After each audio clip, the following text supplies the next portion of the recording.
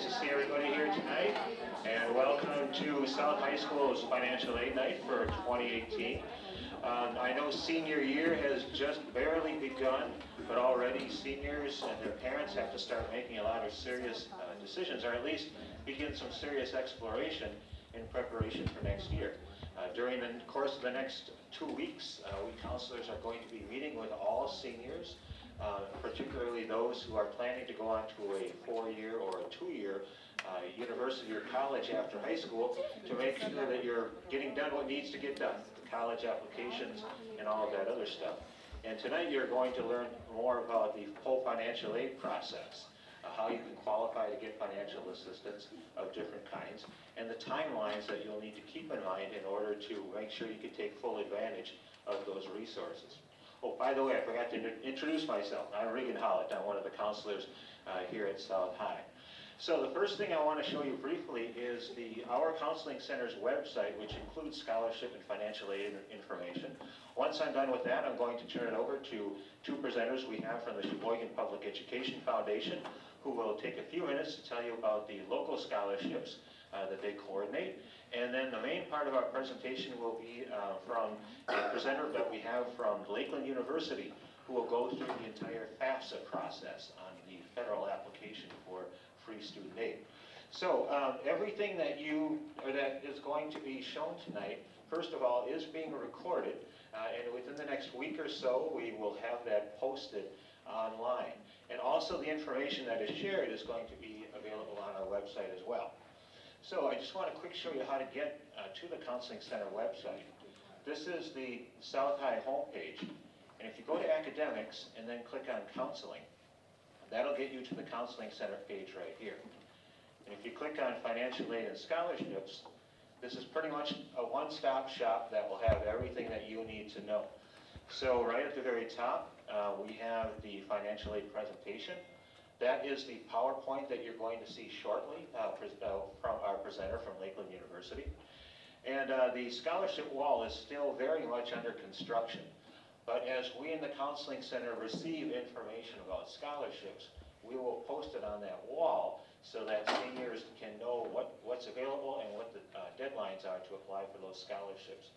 Uh, seniors, we do recommend that you check this site on a very regular basis so that you are kept fully aware of all the different kinds of scholarships that are out there. Uh, moving further down the page, the first section is uh, FAFSA resources, uh, including a uh, summary of all the different kinds of federal aid that are uh, that's available. We've got some financial aid and scholarship links, different search engines for scholarships and other resources. And then we also have some scholarship quick links, including down here, the Sheboygan Public Education Foundation. And on their page, they have a scholarship link. And so with that, in just a second, I'm going to turn it over to our presenters from the uh, Public Education Foundation. But again, please do keep close tabs on our website. And if you have any questions about anything you see on there, please let us know. So now I'm going to turn it over to Terry Schursel and Roxanne Pauls, who are here representing the Sheboygan Public Education Foundation. I don't need the mic. Okay.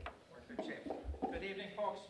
Talking to the students, even though the parents, you are the ones who worry and you are the ones who pay the bills, but it's the students here who have to step forward. Bottom line, bottom line, straight up. Something new this year that SPEF we've been hearing over the years why wait to January before you start the process and everything else? You have it now from your guidance counselor or your guidance, all guidance counselors should have passed out, correct? Yes, all seniors got those folders in advisory on Tuesday.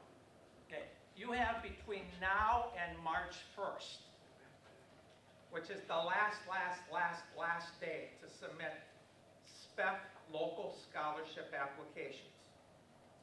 We understand that you have sports, we understand that you have religious church events. We understand that you have family events, that you do have a life outside of this building. But you also have a responsibility that if you are going to be applying for a scholarship, that you set up a schedule. A schedule that maybe you talk to your mom and dad about. And maybe I work on this one scholarship or this scholarship. Now, September, October, November, December, And you're going, really? It's the first, second week of school? It's in your hands. Guaranteed. If you do not apply for a scholarship, you won't get it. That's a guarantee. If you do apply for it, you're in the mix, and we congratulate you. So what we've done this year, something different, something special. You all have a folder. Inside that folder, you all have handouts. The handouts are set up, bring it in, could you, the handouts, copies, can be printed off of our website. I lost my folder, the dog peed on it, I don't know where it went. Print it out, copies are there. Step up and take the responsibility. Cover page, cover page. Like us on Facebook. We had one person from South High be the first person to like us on Facebook. Why do we have to do that? Why? Because there's information on our site. We're a nonprofit organization, not related to the school district, but we support public education here in Sheboygan. So, if you click down where it says South High School, oh, lo and behold, the list of every scholarship possible for students at South High School. Now, can I apply for every one of those scholarships? Probably not. Why? Because some scholarships are just set up for maybe if you're, if you are going into business or into the medical field or into education. You will hear, or we will hear, why are there more scholarships for North High School than South High School? Why? Because the donors who are spending their money may have gone to North High School. Example, and I shared it earlier.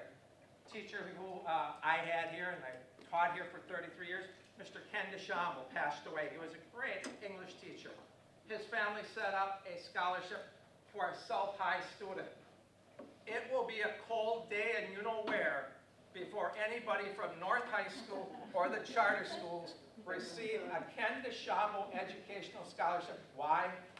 Because the family wanted to recognize his years of service here at South High School. On the flip side, Elaine Holman was a great English teacher at North High School. Her two boys set up a scholarship to remember her and her years of service at North High School. It will be a cold day before anybody from South High ever gets the Elaine Holman North High School Scholarship. And that's the skinny of it. It's the donors. The donors, yes, the donors, maybe he or she is in engineering and they wanted to go into uh, engineering. That's it. So take a look at the list. The list is there. The calendar. And for some of you parents are going, you've got to be kidding, you can't read that. Well, it was actually not done on purpose, but for you younger people, you can read this very well. For us older people, blended bifocals. What should I be doing in the month of September, October, November, December? Flip it over. January, February. And then, and then, the deadline is March 1st. Which means students, don't have your mom or dad walk up to our offices on Friday, March 1st. Could you please do it yourself? Could you do it maybe the day before, the week before, versus calling them up on your cell phones in your seventh hour class or whatever hours they have here now, like 20. Call it mod 30. Mod 30, whatever. And take responsibility. Do it yourself. Don't have your parents do it. And then after the scholarship night, going to be, if you think I'm on a roll now, wait until you hear this. Can you write a thank you note? Rex, get it. From the donors. One donor hasn't gotten a thank you note in two years. I'm telling you, students, I don't know, don't tell me you're busy. Come on. You're making a hun, five hundred dollars, a thousand, five thousand, ten thousand, thirty thousand dollars, and you're too busy to write a thank you note? And I'll say it to you, shame on you. Your mom or dad should not be telling you, Did you write a thank you note? Did you write a thank you note? You write a thank you note. Why do I say that? Because you never know what the donor is going to do. It's happened twice in my years. One-time scholarship, person writes a nice thank you note at the semester break. The donor talks to us and says, you know what? Let's continue the scholarship. Don't know. It may happen or it may not. It's the donor. I also know that if you don't write a thank you note, the donor might say, you know what? I was thinking about extending the scholarship, but Johnny or Susie never wrote me a thank you note, so you know what? Let's just stay with the commitment of one year. That's happened. Person lost thirty thousand dollars. True story. Thank you note. But once again, out of our hands, out of parents' hands, it's up to the student. And then by August fifteenth, could you please tell us if you're going to school or not? Things change. We understand that. Universities change. You might be thinking about going to UW-Madison and you're trying to, eh, I might go this one or that one or something else. Let us know because we don't know what your plans are. It helps us with the office. Big time, big time. Third handle. Do not, Regan, now remember this. Do not, do not go to the high school counseling center and request a transcript on Friday, September 14th. You guys will call us up and say, see, we told you they're going to be coming in. Your first semester, senior year isn't done yet. Let's wait until January 25th, 26th, 27th-ish. Yeah, that sounds about right, yes. And they'll tell you, then you request a transcript. Don't go to Mrs. Stubbe and ask for one now. We could be in trouble with her. If I can tag on what you're saying, you're exactly right, because uh, the current transcript is only going to be up through the end of junior year, and uh, while that may be impressive, the scholarship donors are definitely going to, going to want to see how your senior year is going. And it isn't until first semester is done that we're going to have all the information for them to see on that. So yeah, late January is the earliest that you should be coming and knocking on our door for, for those transcripts. Okay. Yes. I said that publicly, correct?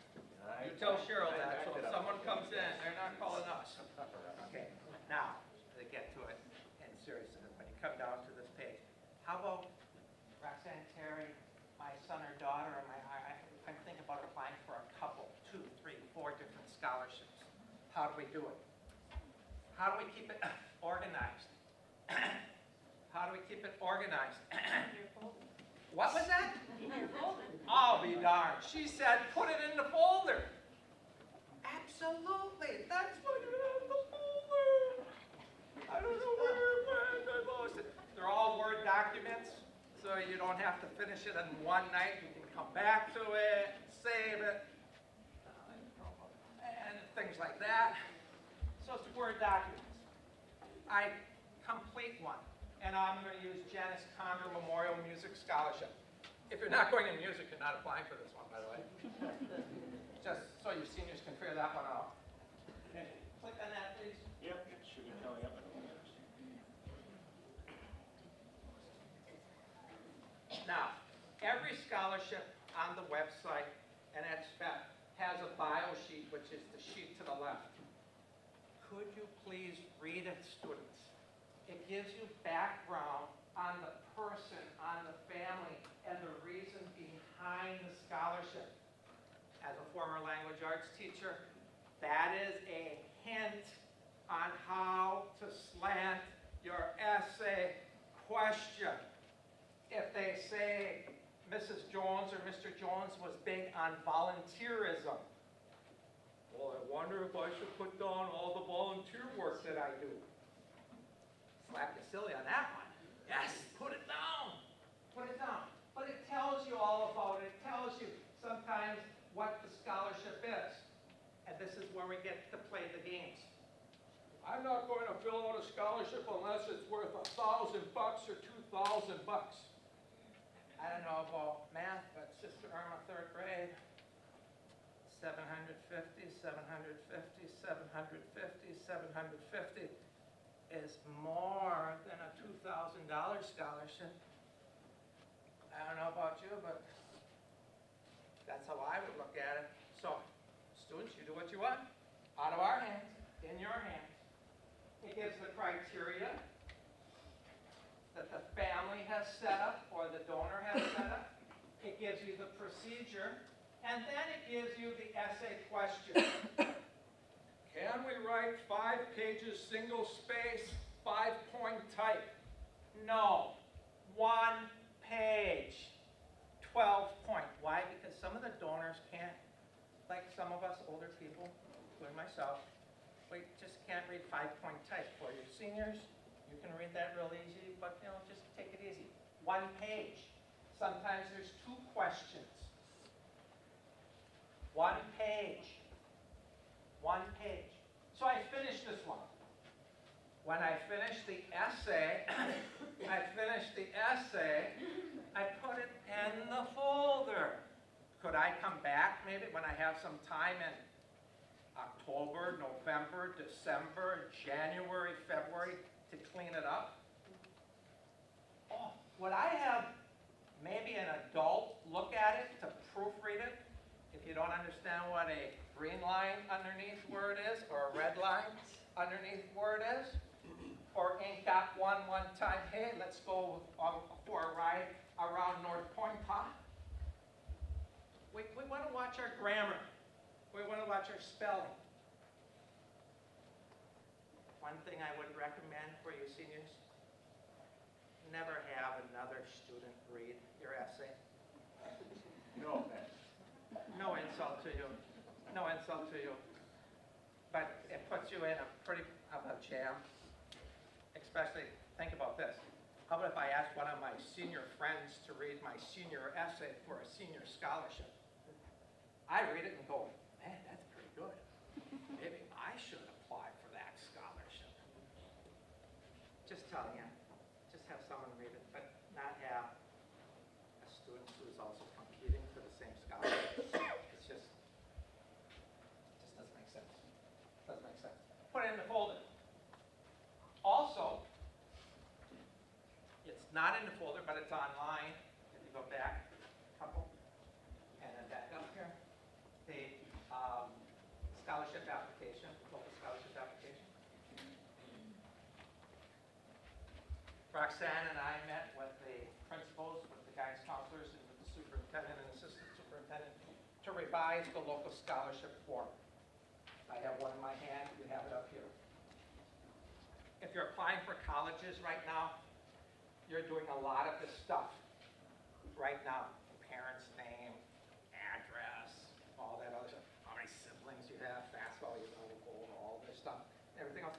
You can do that right now. You're not turning anything in now, but you can get it done. And when you finish it, where will you put it, students? In the folder. In the folder, right.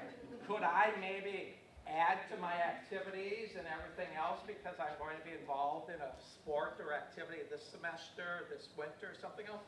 Absolutely. But most of the work is done ahead of time. Done ahead of time, so you're not rushing when it comes February. So that's the application. And the last handout, and then I will be quiet, and then you're on, if I covered it correctly.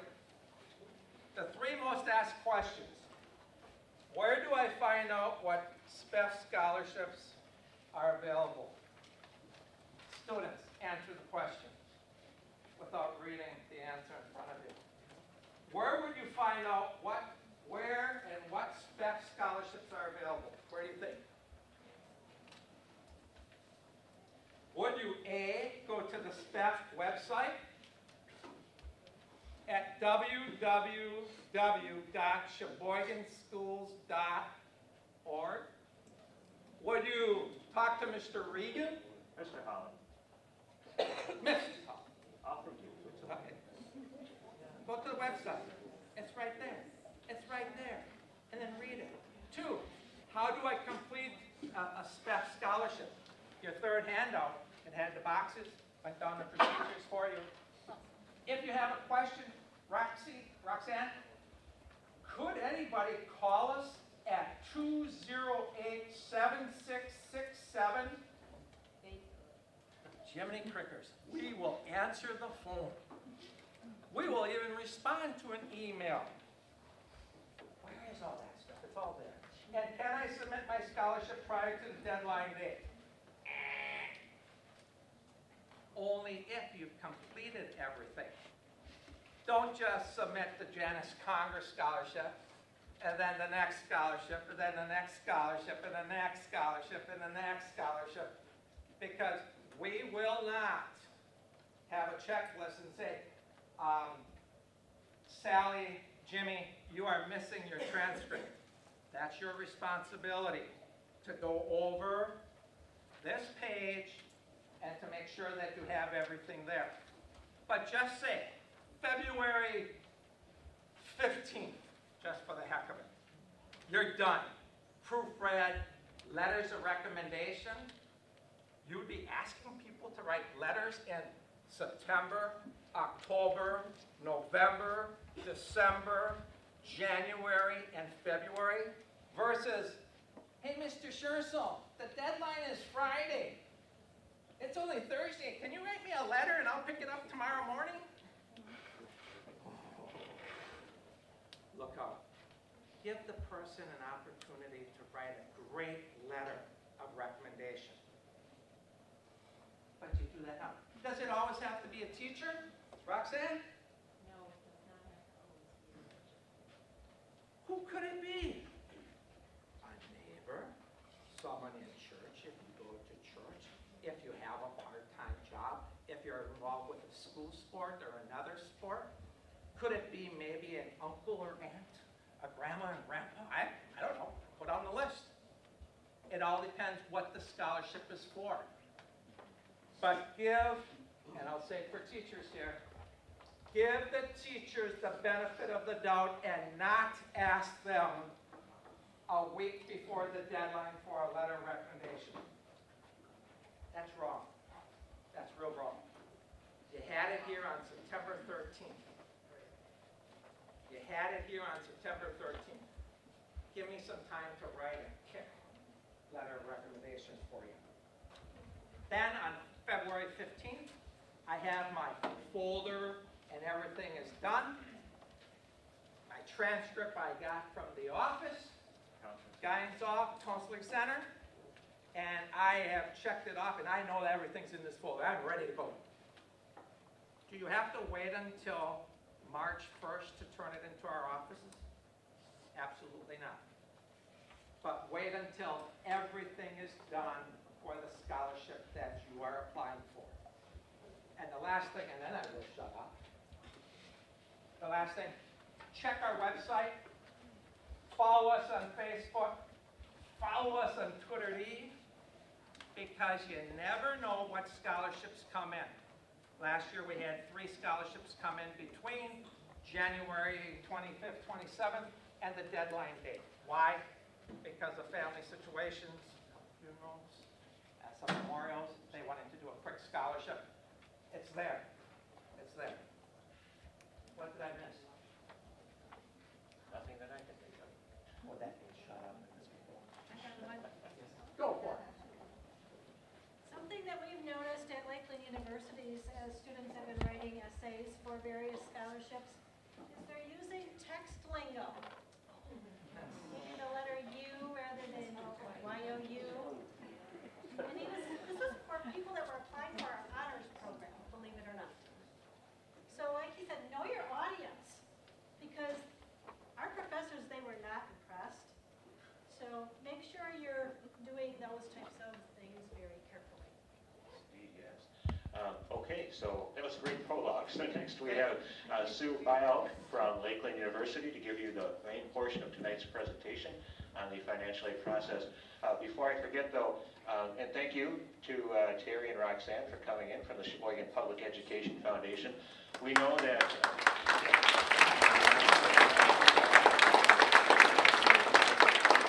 We know that you will benefit from a refresher on all of that information in a few months' time. There is on our school calendar a presentation that is currently listed as being in early February for the local Scholarship presentation. We have moved that up, I believe, to January 30th. Um, Even though it's not reflected on the official school calendar right now, we're going to send out a messenger, uh, like you should have gotten a phone call regarding tonight. We'll do a similar thing for that January 30th event in enough time so that you all know. Okay. Oh, what? We have a mistake. encore. I don't know, encore.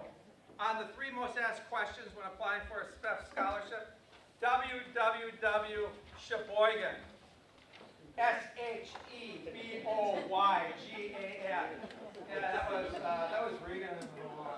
Oh, yeah, Uh, Lane. that, that was it. My, my mistake on that. So cross, uh, off the seat. Thank you, good, yeah. First, I'm going to see if everybody can hear me okay. Great. I'm Sue Bielk. I'm Associate Director of Financial Aid at Lakeland University. And the other hat I wear is the Director of Veteran Services. So if we do happen to have anybody in the room that may qualify for some veterans benefits, we can always talk about that later on. And just before I start, there's a few people that are standing. If you want to take an opportunity to sit down, this is going to be probably a good hour presentation, so I'm just going to fair warn you. Um, This is a little bit new and improved compared to what we've done in years past. Some of the slides I will skip through rather quickly, and others we're going to spend a little bit more time on. Some of the topics that we're going to be discussing this evening will be, what is financial aid? What is cost of attendance, expected family contribution, financial need, the different categories and types of financial aid that are available, and then the free application for federal student aid will actually be going through some of the different looks and feels of the FAFSA. For those of you that have done it in the past, it's going to have a brand new look, and one of the other new things that's coming up is a mobile app. So things are going to be, get much better. So what is financial aid? Financial aid is funding from various sources to help pay college expenses. And cost of attendance, when you're starting to do things like the FAFSA, they look at cost of attendance.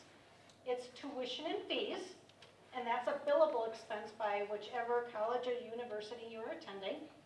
Room and board, for some of you, you might be living at home, but others of you might be living on campus somewhere. Then again, going into maybe a junior year, or senior year, you might be living in an apartment off campus. Regardless of where you live, you're going to have some sort of living expenses. Books and supplies. With some universities, your books might be included, but with many, they are not, and you're going to have to be able to purchase those books on your own, so you need to be prepared for those types of expenses. Transportation. Somehow you need to get back and forth to that college or university. It might be a car, it might be a plane ticket, it might be a bus ticket. So there's an expense in getting back and forth. And then there's the miscellaneous expenses. Some of you may have cell phones that you have to pay for. You may have to purchase clothing, school supplies, computers, things like that. So all of that is built into the financial aid budget. So each university that you're working with is going to have what they expect their costs to be.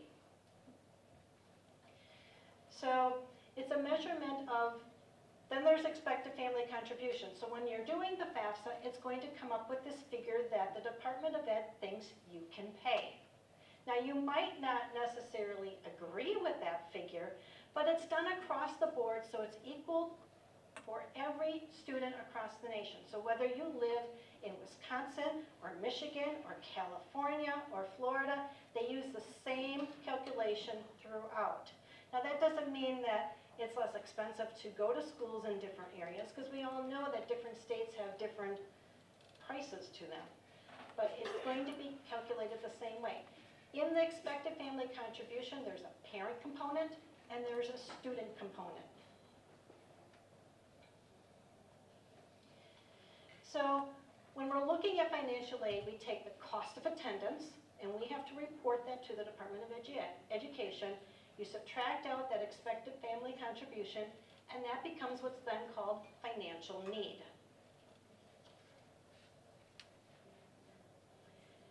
In the types of financial aid that is offered, there's need-based aid, and then there's non-need-based aid. So need-based aid is things like Pell Grant, because there may be financial need. Um, When you go to non-need, that's gonna be more like scholarship or some of the unsubsidized types of loans, and we'll be getting into that in a little bit more. So the types of financial aid, there's, there's self-help and there's gift aid. When we look at gift aid, the first area is scholarships.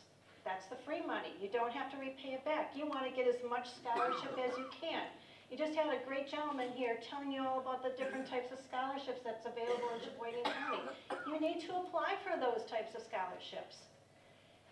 At the different schools that you're attending, make sure you're applying for any of their specialty scholarships that are available. And then the last area that you're gonna go to is the different search engines that are out there and available to students to apply for different scholarships. There's one scholarship app, it's, it's a new app, it's called the Scholly app. It was created by a gentleman that was on Shark Tank that funded his entire college career by going through all of those different search engines meticulously and finding funding for his costs. Now, he found that process to be a little bit cumbersome, so he created an app for it. He does, he is an entrepreneur, he charges $2.99 a month for it, but it is another way for you to apply for scholarships, and it makes it a little bit easier for students moving forward. Grants, grants are more need-based, so maybe some institutions may add some funding to your award letter because you have more need. Pell Grants, SEOG, those are all need-based grants, so it's based on your finances. On the other side is going to be your self-help. So that's going to be loans and work study. There are federal loans that are available to you, and someone will discuss that a little bit further. And then work study, that's the other area. So to, if you're not getting enough scholarship and grant dollars, this is your only option, loans and working.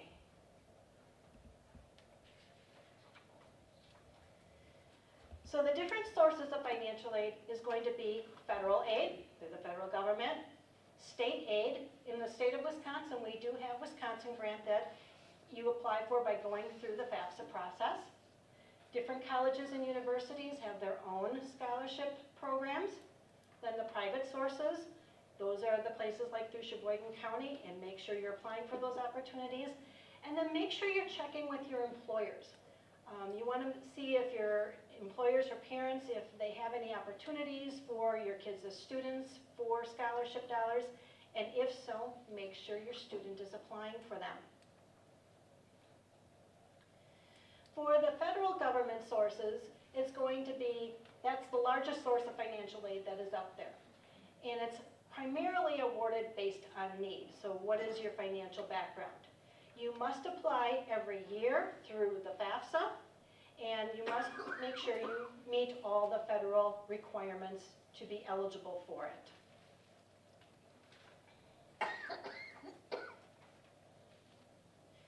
So these are the various types of federal student aid that is out there. The largest, or the first one we're going to talk about is Pell Grant.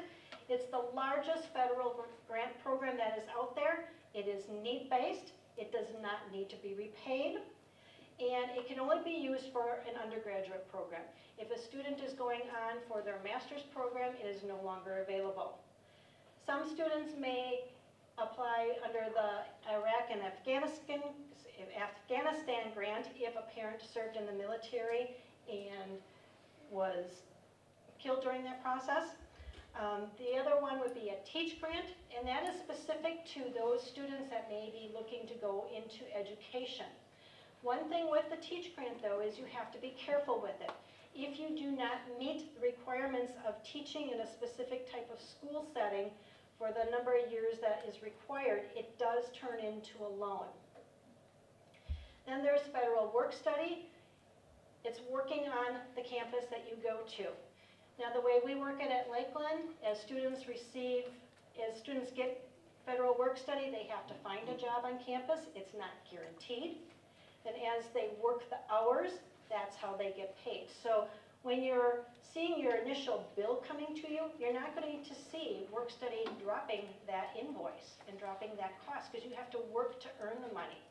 So students maybe have to do a time card just like I do, and they get paid twice a month, just like I do. but they can use that funding that they're receiving during their working hours to pay on their tuition. Then there is the loan program. So for freshmen entering their first year of school, they can receive 5,500 in loan. For sophomore status, it goes up to 6,500, and then for junior and senior status, it goes up to 7,500. Part of that loan is going to be, sub- could be subsidized, there will also be unsubsidized loan. The difference between those is when interest starts to accrue.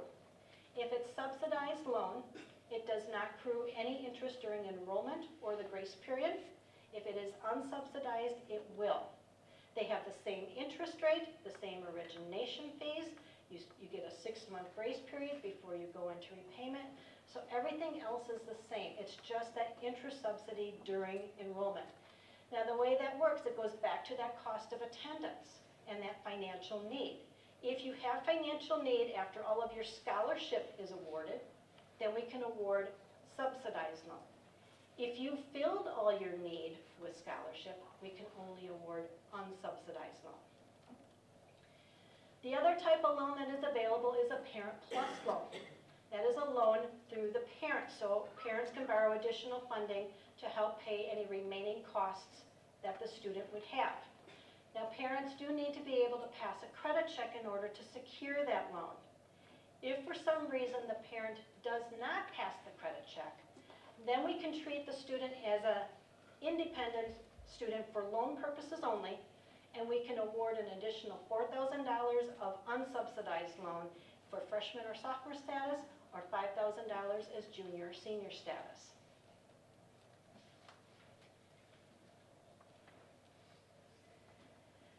And then I'm going to go into the state.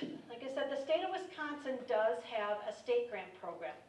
It is based on the cost of attendance at the school. So if you are comparing award letters, what you may see from a private school compared to what you may see from a state school is going to look very different.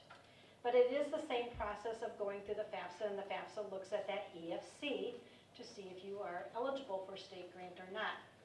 Since you are from the state of Wisconsin, it is extremely important when you are completing that FAFSA and you're putting in the section what schools you are thinking about attending and you want them to receive your information, that you list some Wisconsin schools in there. Because that information is going to go through the state of Wisconsin to determine your eligibility. So make sure, since you are from Wisconsin, that you are listing at least one Wisconsin school. For colleges and universities, all of us have different ways of dispersing specialty scholarships that we have. We have internal scholarship based on GPA and ACT scores that we use. We also have some specialty scholarships. Now, we have some very early deadlines because the FAFSA opens in October. We want to start awarding probably like mid-December, if not maybe a little earlier. So we have to have some of the decisions already made on our internal scholarships. So many of ours at Lakeland are due mid-November already. So we're not as kind as some of these other organizations. So make sure you're checking out the websites of the, the schools that you're looking at to see if they have any deadlines for any of the scholarship opportunities.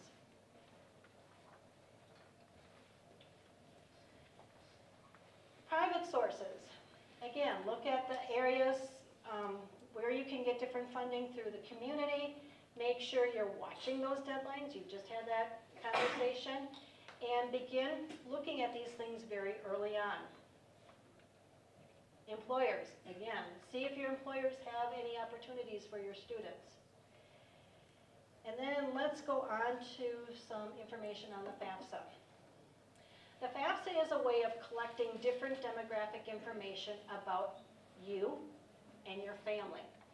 And it's information that we as financial aid administrators use in order to complete your award letter. It is available both in Spanish and in English.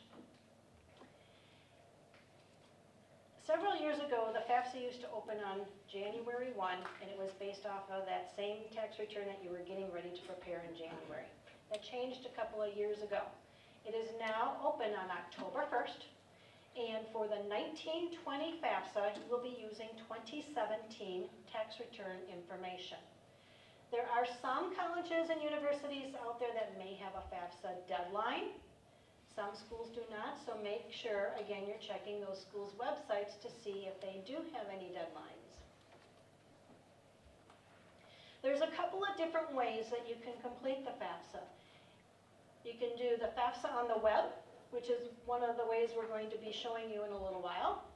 And new is the My Student Aid mobile app. So it is now going to be cell phone friendly. As of right now, if you download that app, it is a beta version. And it's going to have information only right now for the 17-18 FAFSA.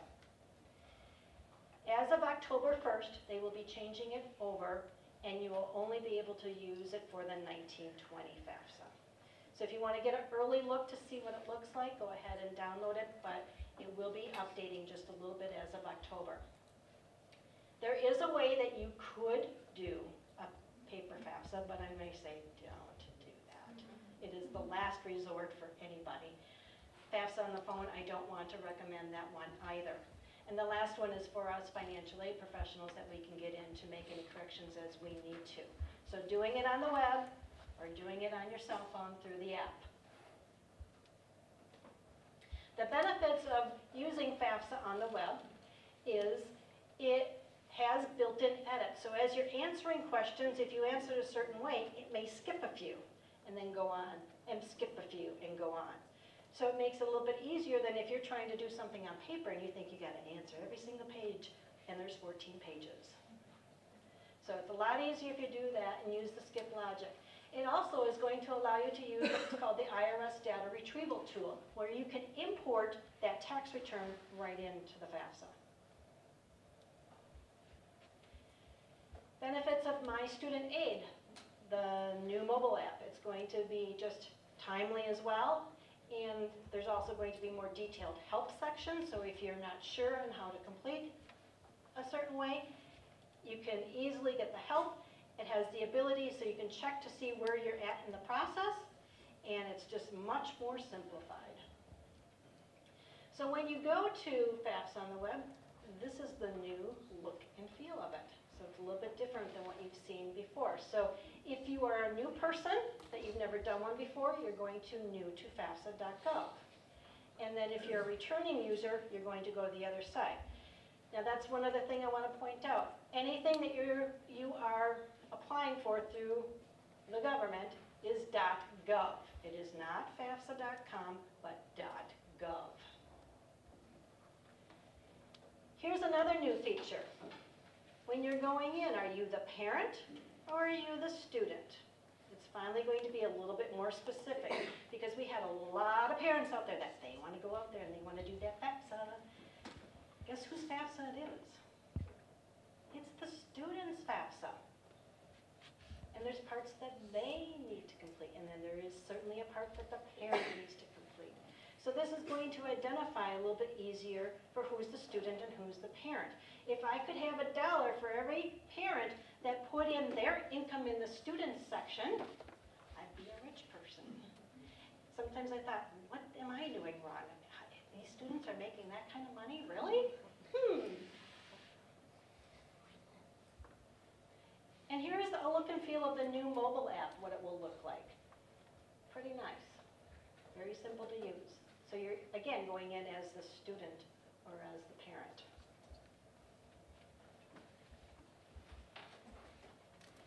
Um, During the time that you're going in there, you are going to be prompted to have a save key. You will need to be entering either one of these sites by using what's called an FSA username and password. We'll get into that in a little bit. And here it can show just where you're at with everything. So here it shows, you know, student information, school selection, dependency status, parent information. So it's going through all the different parts that you're going to need to complete.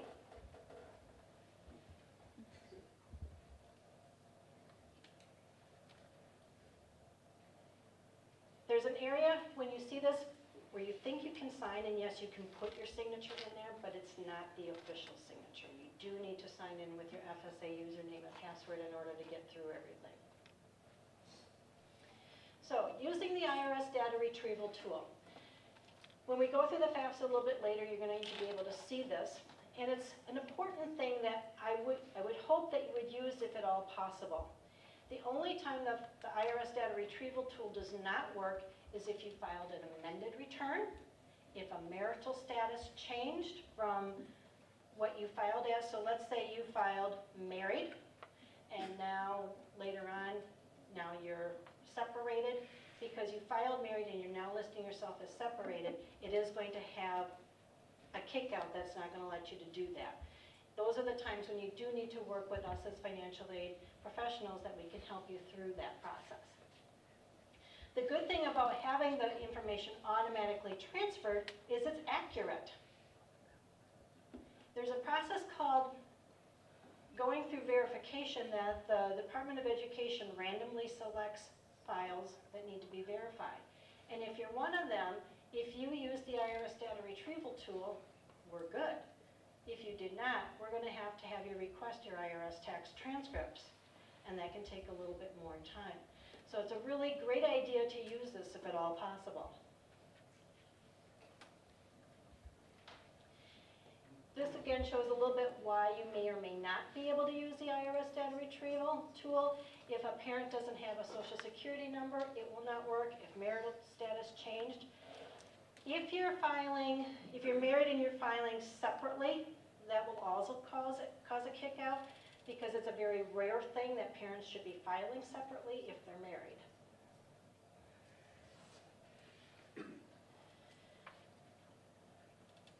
So, this is going to show you a screen of what it looks like when you need to set an FSA username and password. Each student needs to create an FSA username and password, and at least one parent needs to create a, a FSA username and password. Parents, if you have created one already for a older student, that will stay with you.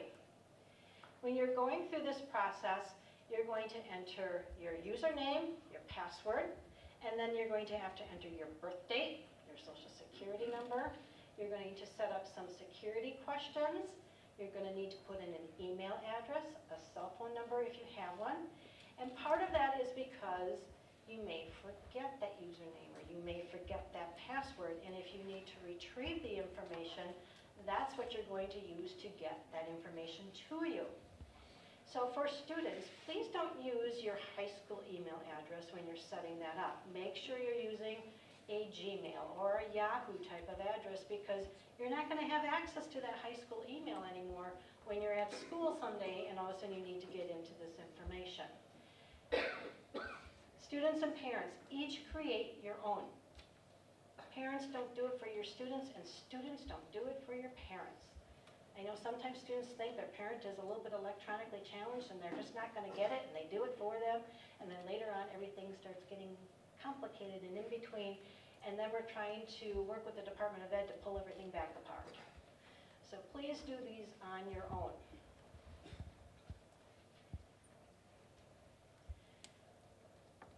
There is a FAFSA worksheet that you can print out ahead of time if you want to, just so you have all the information that you may need in the process of completing it. And then this is some of the general information that you're going to need to enter.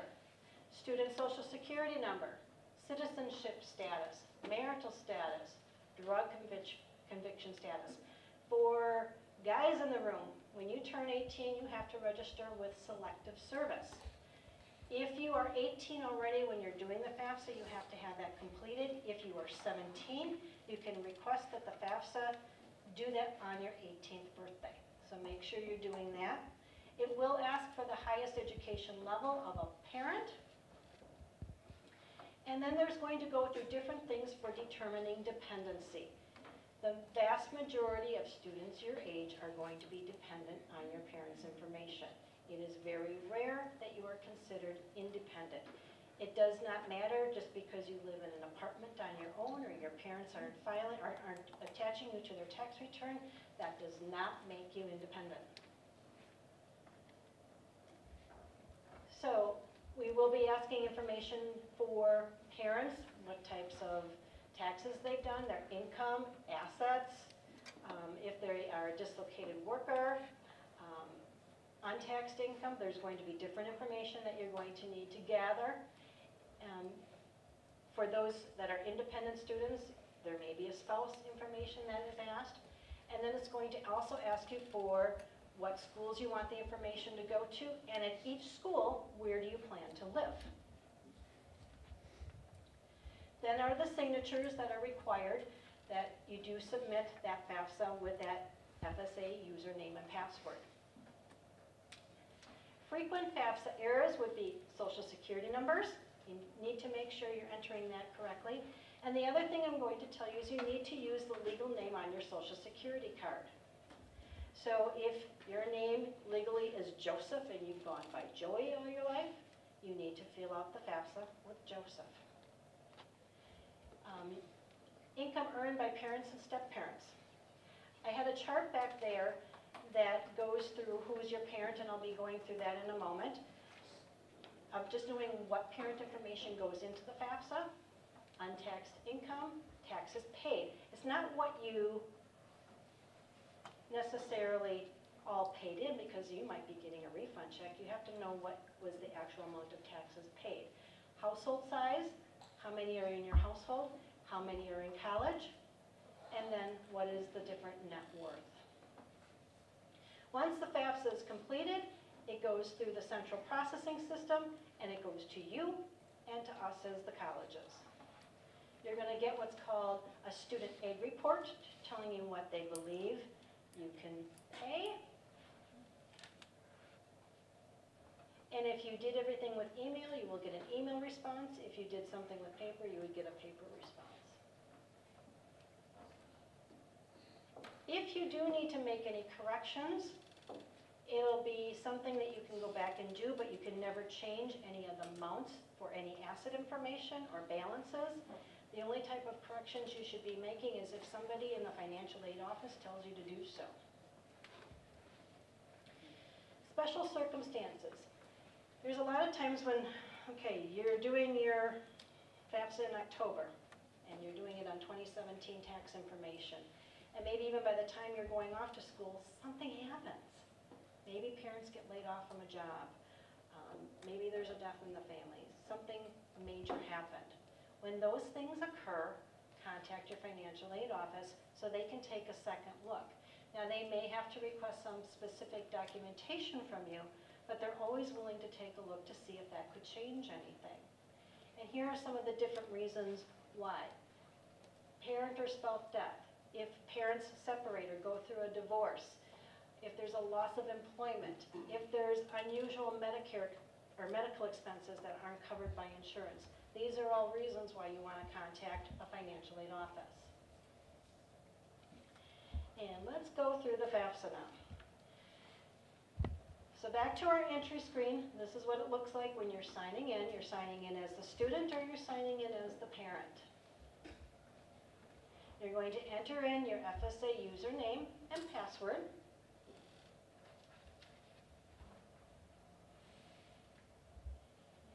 And then you're going to start en- entering things like social security number information and date of birth.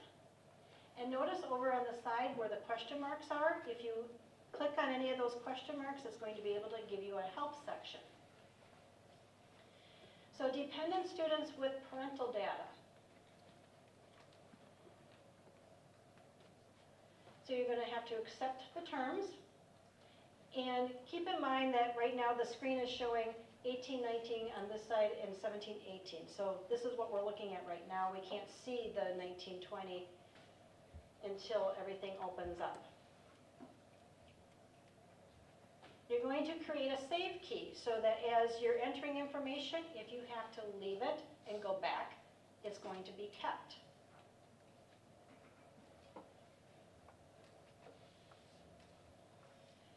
So anytime you have questions, you can open up the next, open up the section by clicking on the arrow and it'll give you a little bit of information of what you need to put in.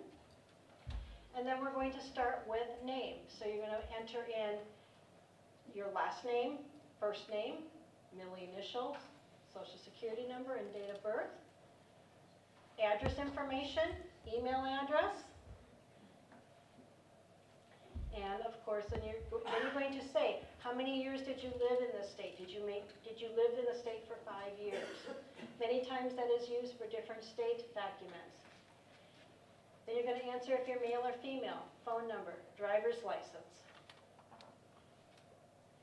Then it's going to ask you your marital status. For most of you in the room, I would say you're single.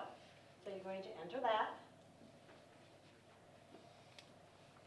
And here's where you're going to answer for the guys in the room if you've registered with Selective Service. Here's another area that seems to be a lot of mistakes. When you are completing your FAFSA, your high school seniors, you're going to put in the last, what was your high school completion status, a high school diploma. You are going for your first bachelor degree or your associate's degree. You are not being a graduate professional. That makes a big difference on what type of aid is awarded if you don't put in the right type of information in this section. Are you interested in work study? Yes or no? Were you part of a foster care program? Yes or no? And then what is the highest grade level of parent one and parent two? And then it's going to ask you if you've ever received federal aid before, and if you've been convicted of any drug-related charges.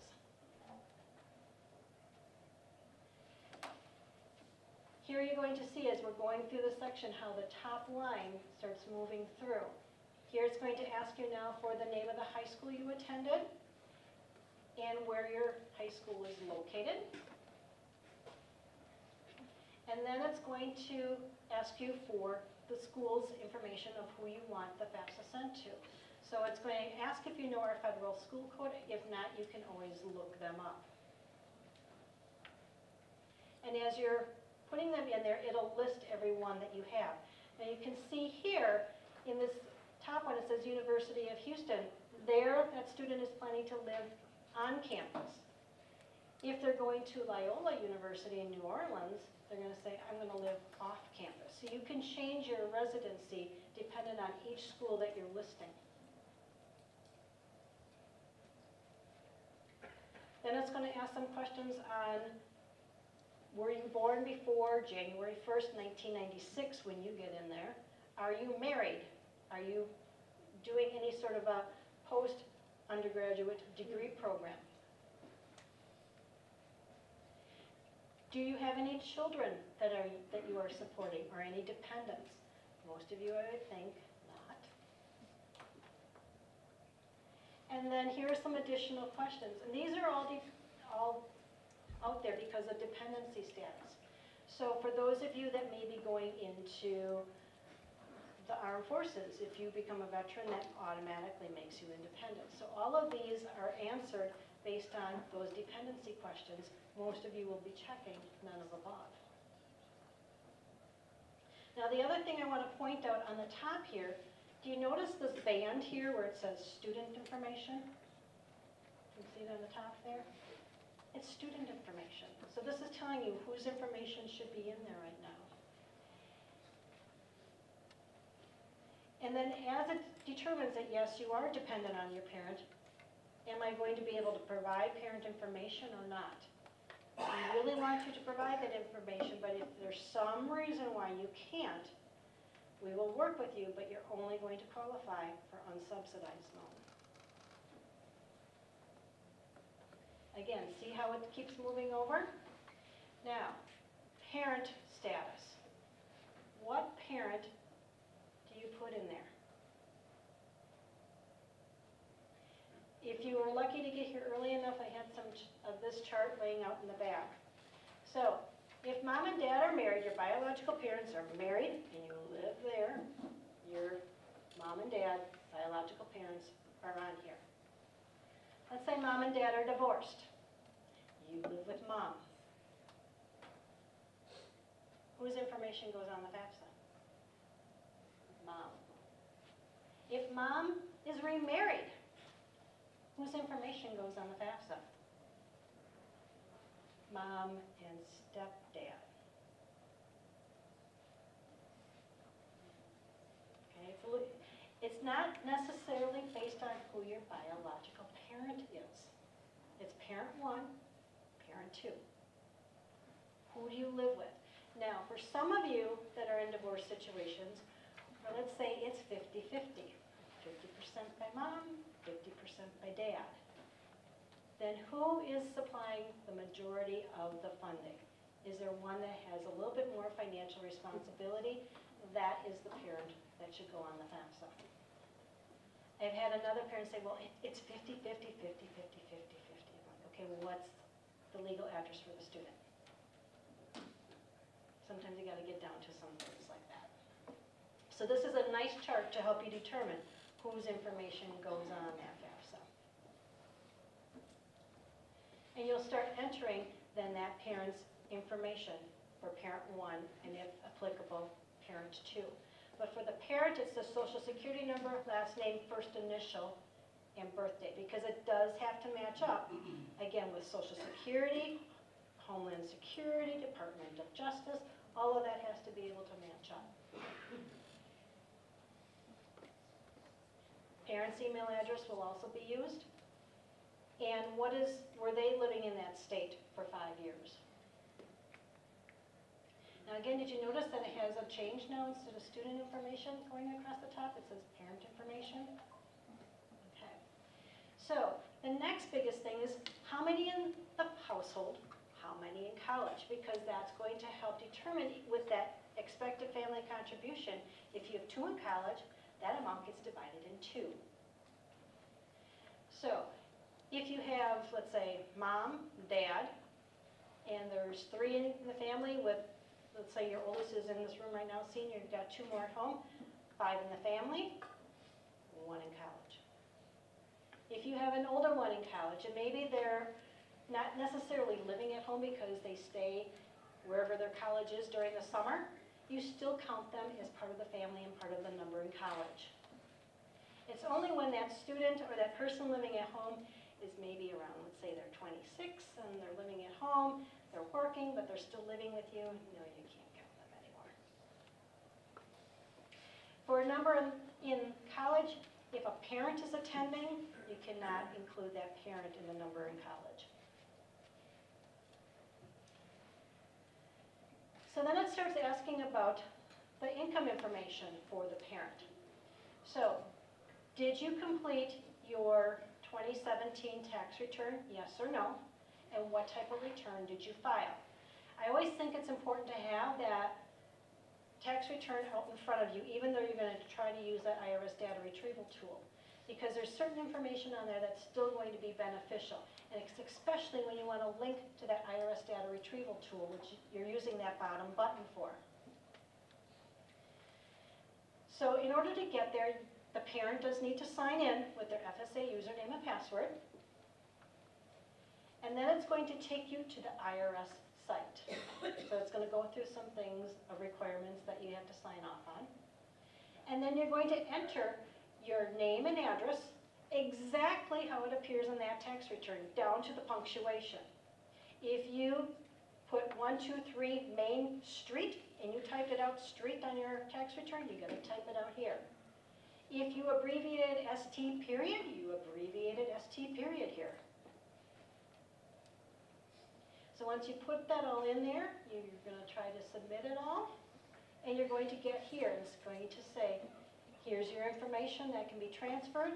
If you want to transfer it, you're gonna click on that top box and transfer. When it transfers over, you're not going to be able to see what actually transferred. The numbers are not going to be there. And that's specific because if some reason, somehow, somebody gets into your FAFSA, you don't want them to have that information. So it, it is masked specifically for that reason. So you're transferring that information over, and it's going to show you anytime information was transferred over. And then it's going to ask some additional questions along if other different things were filed. Now, one thing you really want to make sure you're looking at is that bottom line where it says, did any of, if you, if you stopped a job, and you, let's say you had a 401K, and you rolled it over into an IRA, If you don't check that you did that, it's going to look at income for you. So make sure if you've done any rollovers, that you put it in this section here.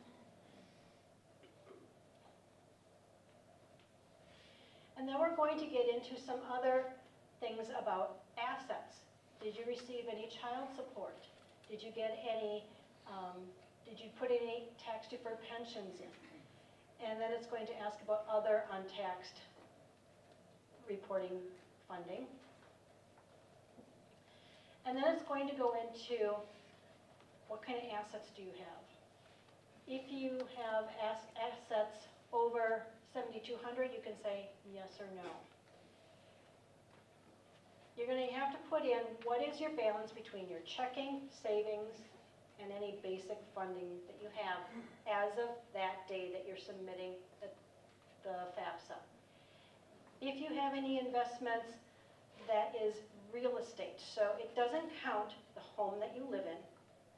So let's say you have a home, but now let's say you have that cabin up north. And if that cabin has a mortgage on it, you can take what the value is, less the mortgage, and that, that amount is an asset. So you do have to look at that. The only asset information that you do not need to claim is any retirement information. So 401Ks or IRAs, Roth IRAs are okay, you don't have to claim them, or um, any, I just lost it, Um, any of your life insurance policies. So retirement savings, life insurance policies, you do not need to claim as part of your assets.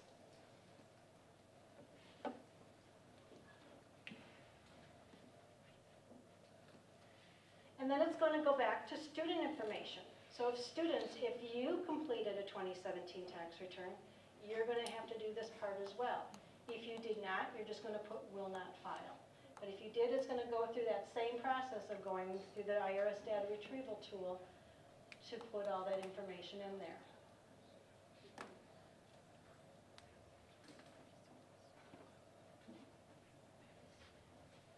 So I'm just going to skip through some of this. And then the student, you're going to put in your asset information.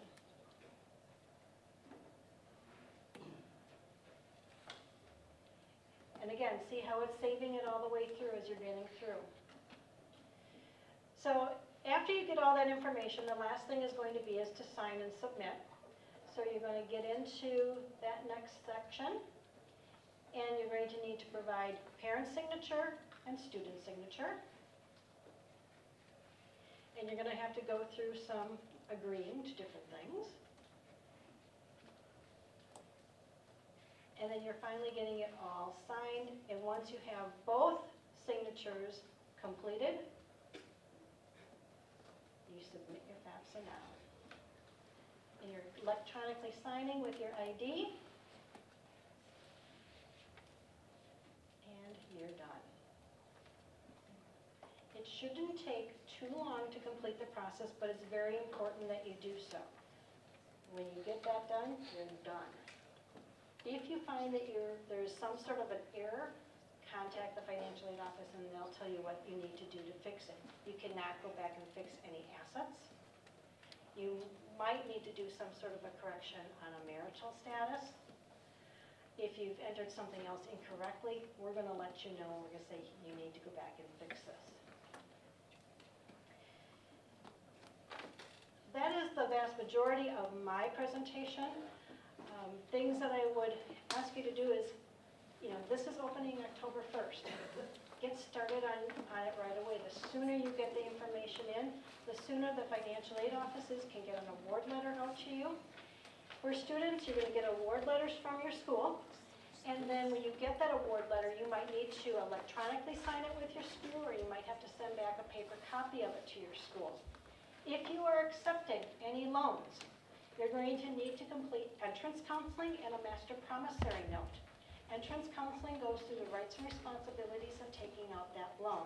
It's going to explain to you what is interest, when does it accrue, when do you need to make your first payment, what happens if you can't make that payment, what do you need to do. So parents, it's okay for you to sit with your student while they're doing that, but don't do it for them. They need to understand what that loan is all about. The other thing is that master promissory note. It's the promise to pay. That's the legal and binding document.